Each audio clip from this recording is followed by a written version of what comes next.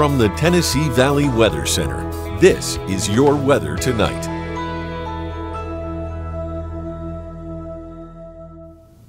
Clouds hanging around as we head through the overnight hours toward early on Saturday morning, and that insulating blanket keeps us in the upper 60s. Notice a 20% chance here on each of the icons overnight. Can't rule out a stray shower.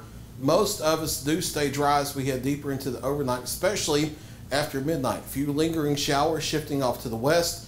That's the remnants of the afternoon and early evening activity. Can't rule out another shower or two coming north out of central Alabama into our viewing area, but the, but the vast majority of us stay dry overnight toward daybreak, starting out in the upper 60s to near 70, with clouds hanging tough around the area, but a little more sunshine by Saturday afternoon gets us up into the mid 80s or so. But maybe a stray shower or a thunderstorm, even though most of us will stay dry.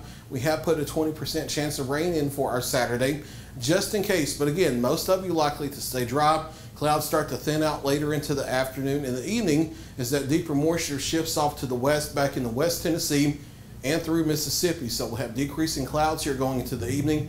That allows us to drop into the mid to upper 60s for morning lows by daybreak here on our Sunday. And then high pressure building back into the area keeps the rain chances off to the west Sunday into Labor Day. On our Monday, mostly sunny to partly cloudy here. Temperatures coming up as we into the first part of next week as well. Mid to upper 80s for our weekend here, getting closer to 90, if not into the lower 90s, as we hit Labor Day into the first half of next week. But no big runaway heat here for at least the next seven days. We're watching the tropics carefully. We have the post-tropical circulation that was once Hurricane Idalia out in the western Atlantic. That's moving away. We have the remnants, or what's left, of Franklin moving away and trying to absorb Jose that's out there. We've had Gert come back temporarily. That's recurving out into the Atlantic. We've had Tropical Depression 12 get named. That's staying out into the Atlantic. What we are watching is a strong wave coming off the west coast of Africa it's going to be a few days, I think, before this has development potential, but environmental conditions across the open Atlantic will be more favorable for this to become our next named system. The next name on the list is Katia, unless another system takes it.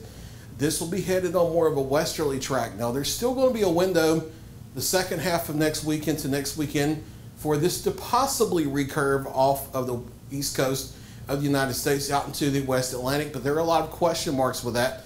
The big takeaway is for at least the next seven days, this will not be a threat to the mainland United States, but it's one we'll have to watch after five to seven days to see where it tracks, but way too far out to try to guess where that may be. But we'll be watching it carefully and keep in mind we are headed toward the heart of the Atlantic hurricane season. The peak of it start happens rather on September 10th. So we have to watch these things very carefully. As earlier this week with Idalia, prove very clearly for us. Mid to upper 60s to start our early Saturday morning. If you're up early this this early on a Saturday morning, mostly cloudy here, to partly cloudy. Temperature starting in mid to upper 60s. Maybe a stray shower, but most of us dry. And then I can't rule out a stray shower or a thunderstorm around here for our Saturday. But again, most of us dry. Chance of rain is only 20%. Daytime highs up into the mid 80s or so a bit warmer for Sunday with a little more sunshine around. And that's the same for Labor Day on Monday as well. And then we're getting into the 90s for everyone. I do think probably lower 90s Sunday and Monday and Tuesday for North Alabama, but everybody into the lower 90s for the second half of the week. And we might eventually have to throw in a slight chance of showers and thunderstorms here for the second half of the week. But right now, with so many questions in the model data, for now, we're going to leave that off, but we may have to bump up rain chances especially Thursday and Friday. There's your latest seven day forecast. Bryan Wilson's in the Weather Center through the weekend, keeping you covered with all your latest local weather.